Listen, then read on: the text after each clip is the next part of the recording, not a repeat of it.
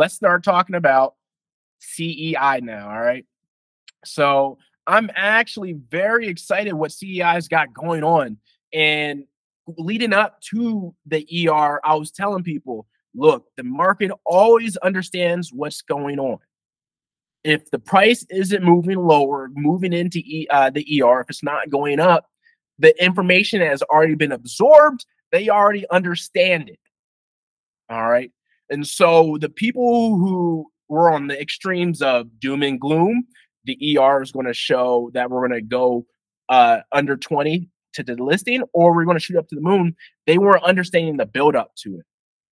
The filings have all said it.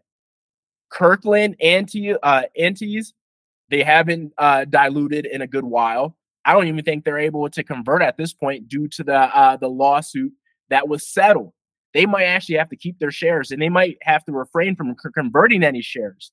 And what people don't realize is us, uh, Camber Energy, getting that that equity uh, adjustment and having net equity of 29 million now stops the counter, uh, the true up uh, derivative calculator counter for Antilles. So, so they can't get any more true up shares. So when you're looking at the information I have right now, they have 60 million shares. Uh, they're they're due. There's 30 preferred shares, which is about 10 million, and they have about 50 million in the true up shares. So that's all they have right now. Now, so when you're looking at the net share shareholder equity of 29 million, satisfies uh, the New York Stock Exchange, American Exchange.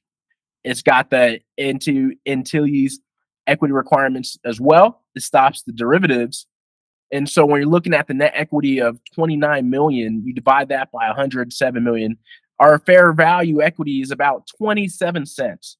So we're right on our base bottom, which means we are essentially at the bottom for CEI, just based on book value. That's what we have. And when you look here, we also have a negative 3.2 million in total operations. So we're almost running a profitable operation. Now that does not mean we still don't carry debt, which we do, and we do scare, carry a, quite a bit of debt. But the fact that we're only three million away from running a profitable operations mean we'll be able to start paying off that debt exponentially easier than what we were able to a year ago two years ago. All right. Especially with the derivative shares all sewed up. So we're in a really good position right now. And this is when it comes to financial uh, money making marketing magic. So, how do we get the net equity? Because technically, we still aren't even at the net equity, but this is what they did. CEI, Camber Energy, they took goodwill. And if I see it here, yeah, Wow. We have $52 million, almost $53 million worth of goodwill.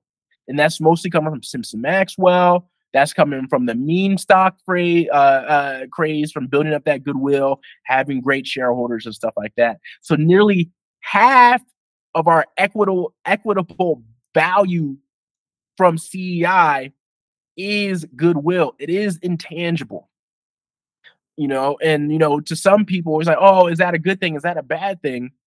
Look, we ha- we're we're still an asset heavy based company, especially what we're able to do.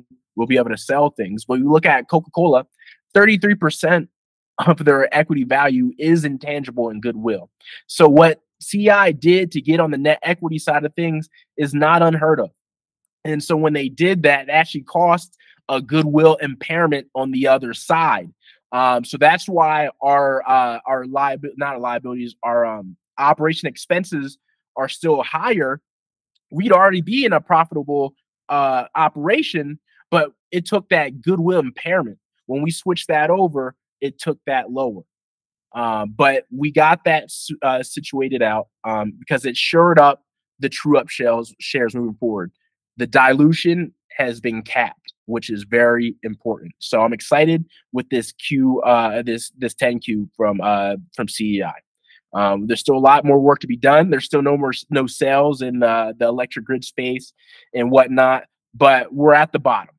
I, I firmly believe it. We're at the bottom. If there's no more dilution going forward, you know, we really can't go that much lower. And I think the reverse split is definitely off the table at this point.